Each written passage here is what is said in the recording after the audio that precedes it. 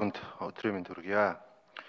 За Монгол банкнаас орчуулж байгаа энэ төрийн мөнгөний бодлогын талаарх энэ асуудал дээр бас Монгол Улсын засгийн газраас энэ цар тахлын үед эрүүл мэндэ мөн одоо эдийн засгаа аврах хүрээнд одоо Монгол Улсын засгийн газраас авч хэрэгжүүлсэн энэ арга хэмжээ өнөөдөр ингээд жилийн эцэст ингээд өгнөд үцгэд бас тодорхой хэмжээнд Монгол улсыг эдийн засгийн одоо хямралаас авч гаржээ гэдгийг бас энэ сангийн яамнаас бэлтгэсэн материалууд дээр байна. Жишээ нь бол одоо 2021 оны 8 сарын одоо төсвийн Монгол Улсын төсвийн нэгдсэн одоо орлогын гүйцэтгэлээр бол одоо 9.7 их найт төгрөгийн одоо төсвийн орлого бүрэлдсэн.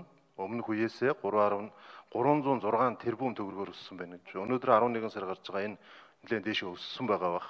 Гэхдээ энэ хугацаанд бол одоо цар тахлын олон энэ хөл хорой, хил гайлын логистикийн олон хүндрэлүүд давхцсан хэрнээ эдийн засаг бол бас тодорхой хэмжээгээр тэлсэн байна.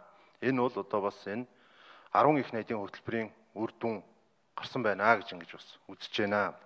За тэгээд манай Хинтээ аймгийн хувьд бол одоо жишээ нь одоо 800 гаруй хүн одоо ажлын байранд хадгалагдсан байна. 74 аж ахуй нэг 9.8 тэрбум, 280-аад хүн бол одоо бас 9 гаруй тэрбум төгрөгийн одоо зээлүүдийг эндээс авсан байна. Энэ их найд одоо 10 их найдын хөтөлбөрөөс. Тэгэхээр өнөөдөр ингээд 2022 оны аа мөнгөний бодлогын талаар танилцуулж яхад 10 их найдын хөтөлбөр цаашаа би үргэлжлэх юм байна гэж ингэж харж байна. Тэгээ энэ хөтөлбөр хэрэгжихтэй цаашид үргэлжлэхтэй харин би энэ 2 3 зүйл дээр тодруулъя гэж ингэж бодож байна. Нэгдүгээрт одоо ингээд цаашаа үргэлжлэхэд банкны их усүрийн асуудлууд ямар хөө байдалтай байгаа вэ? Энэ ингээд хөтөлбөрүүд хэрэгжээд явхад банкн дээр очиод материалаа өгдөг.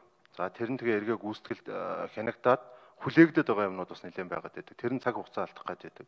Хоёрдугаарт ингээд энэ статистик мэдээлэлээс харахад бол энэ 10 их найдын хөтөлбөрт бас нэлээдгүй аж ахуйн нэгжүүд хамрагджээ.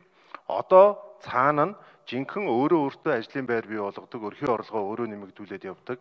Энэ жижиг тунд бизнесийг эрхлэгчдэд энэ одоо 10 их найдын хөтөлбөр маань хүрэх үү? Энэ хүмүүс зээл болгоход Батлан даалтын сангийн уялдаа холбоо хэр сайн хангагдах вэ гэдгийг бас нэгдүгээр тодруулмаар байна. Энийг бол одоо бас тухайн үед тэр тар дахлын одоо ид хүнд үеүүдэд хөл хорой тогтсон тэр үеүүдэд одоо бас арилжааны банкуудын үйл ажиллагааг хэвээ явуулахын төлөө орон нутгийн одоо аймгийн засаг дарга нар удирдлагууд бол маш их хичээл зүтгэж ингэж ажиллаж байсан гэдгийг бас би хэлье. Тэгээ энийг би бас өөрөөсөө асуумаар байгаа. Уу та бүхнээс асуумаар байгаа. За дараа нь энэ хөрөнгө ажлын байр хадгалах гэдэг зориултаар энэ одоо зээлийн дийлэнх нь явсан.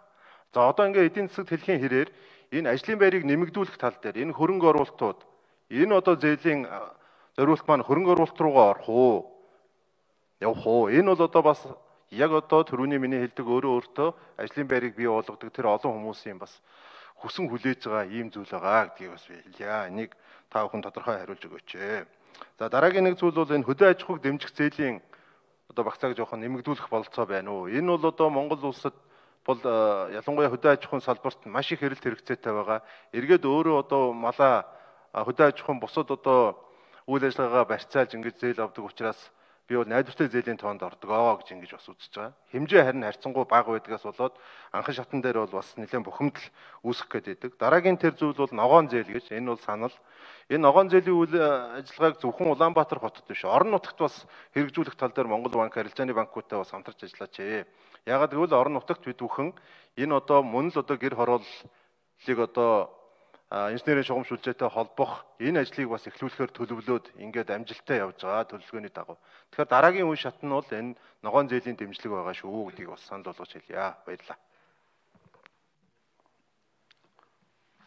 За 83 логсор эрхлэгч. За идрот гişний асуултанд хариулъя. За өнөөдрийн байдлаар бол нийт одоо 10 их найдын хөтөлбөрийн зээлийн өрөөнд бол 3 хувьтай ажлын байрыг дэмжих зээл маань нэг их найд 894 тэрбум төгрөг гарсан байна. Энэ оны хувьд бол ерөнхийдөө 2 тэр 2 их найдыг зарцуулахаар ингээд төлөвлөсөн байсан. За эх он дахиад нэг их найдыг зарцуулахаар төлөвлөж байгаагаа сангийн сайд бол хэлсэн. Тэгэхээр бол эх жил дахиад энэ маань өөрөө ингээд нэг их найдаар нэмэгдээд үргэлжлээд явах хаа гэж харж байгаа. За эргэн жижиг дунд үйлдвэрт бол 50 сая, аж ахуй нэгжид бол 500 сая хүртэл хэмжээгээр энэ 3% зээл олгогдож байгаа. Тэгэхээр бол ерөөхдөө энэ хүрээндээ бол ингээд хэвээрээ олгогдох болов.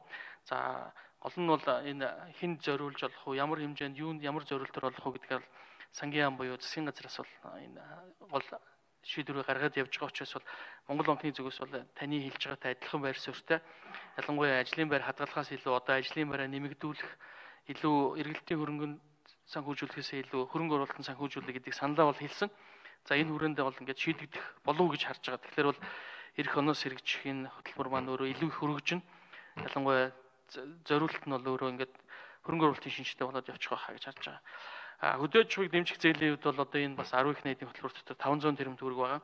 За 500 тэрбум төгрөг маань өөрөө малчтыг дэмжих, хаврын тариал, ноолор бэлтгэл, ноос бэлтгэл, арьсшир бэлтгэл гэдгээр ингээд хуваагдаад явж байгаа.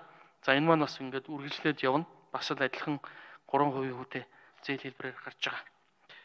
За ногоон зээлийн хувьд бол одоо энэ энэ оноос эхлээд биднес зээлийг ногоон бор гэж ингэж ангилаад явж байгаа. За нийт банкны системээр олгосон зээлийн 2.5% нь бол одоо тэр шалгуур буюу тодорхойлтын дагуу гэсэн ногоон гэсэн ангилалтай байгаа. Тэгэхээр энэ зээлийг илүү их ногоон болгохын тулд Монгол банкнаас тавьдаг шалгуур үзүүлэлтүүдэд ногоон эсгэрүүнүүд зөөлөх буюу хөшүүр хэлбэрээр ашиглаад явж байгаа учраас бол банкуд бол одоо энэ лүү илүү чиглэсэн зээлийг гаргахаар явж байгаа бах. За нөгөө талаар бол бас энэ доктортой санхүүжилтийн хүрээнд бол олон улсын нэгдсэн үндэсний байгууллагын ногоон санхүүжилтийн сангаас хөрөнгө Монголоос Монгол руу бас гадна дотны ийм хөнгөлөлтөй хөсрүүдийг оруулж ирэхээр ажиллаж байгаа. За энэ дээр нь бас Монгол банкны зүгээс ногоон боон гаргах хэднэстээр нь бодлогын хувьд дэмжиж ажиллахаар арилжааны банкудтайгаа бас ярьсан байна.